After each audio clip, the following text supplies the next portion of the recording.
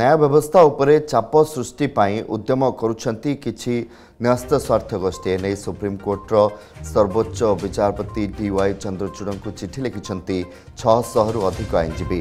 Bar council of India chairman Manan Kumar Mishra ବରିଷ୍ଠ ଆଇନଜୀବୀ ହରି ସାଲଭେଙ୍କ ସହିତ ସାରା ଦେଶର ଆଇନଜୀବୀମାନେ ଏଥିରେ ସାମିଲ ହୋଇଛନ୍ତି। କିଛି ନ୍ୟସ୍ତ ସ୍ୱାର୍ଥ ଗୋଷ୍ଠୀ ନ୍ୟାୟ ବ୍ୟବସ୍ଥା ଉପରେ ଚାପ ପକାଇବା ସହିତ ନ୍ୟାୟିକ ପ୍ରକ୍ରିୟାକୁ ପ୍ରଭାବିତ କରିବାକୁ ଚେଷ୍ଟା କରୁଛନ୍ତି ବୋଲି ସେମାନେ ଅଭିଯୋଗ କରିଛନ୍ତି। ଏଥିସହିତ ଭିତ୍ତିହୀନ ଅଭିଯୋଗ ଆଣି ନ୍ୟାୟ ବ୍ୟବସ୍ଥାର ଭାବମୂର୍ତ୍ତି ମଳିନ କରୁଛନ୍ତି। ବିଶେଷ କରି ରାଜନେତାମାନଙ୍କ ଦୁର୍ନୀତିରେ ସମ୍ପୃକ୍ତ ଅଭିଯୋଗ ମାମଲାରେ ଶୁଣାଣି ସମୟରେ ସେମାନେ ଚାପ ସୃଷ୍ଟି କରୁଛନ୍ତି। ଆଇନଜୀବୀଙ୍କ ନାଁ ନ ନେଇ ସେମାନେ ଚିଠିରେ ଲେଖିଛନ୍ତି କିଛି ଆଇନଜୀବୀ ଦିନରେ ରାଜନେତାଙ୍କ ପକ୍ଷରୁ ମାମଲା ଲଢ଼ୁଛନ୍ତି। ରାତିରେ ଗଣମାଧ୍ୟମରେ ମତ ରଖି ବିଚାରପତିଙ୍କ ଉପରେ ଚାପ ସୃଷ୍ଟି କରିବାକୁ ଚେଷ୍ଟା କରୁଛନ୍ତି।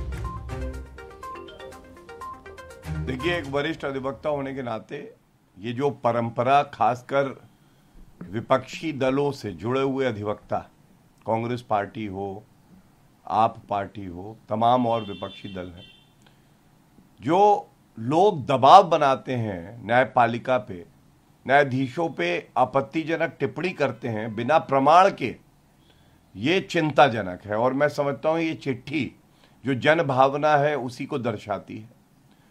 और मैंने तो स्वयं अपनी आँखों से देखा है कि अगर कोई फैसला उनके पक्ष में आ जाता है तो न्यायपालिका की वाहवाह।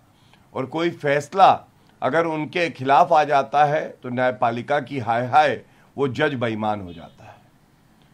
न्यायपालिका लोकतंत्र में तीसरा स्तंभ माना गया है और न्यायपालिका मज़बूत हुई है श्री नरेंद्र मोदी जी की सरकार में। जदि आपंक आम भिडी भल लगा तेब आम चेल्क को लाइक सेयार और सब्सक्राइब करने को जमा भी बुलां नहीं।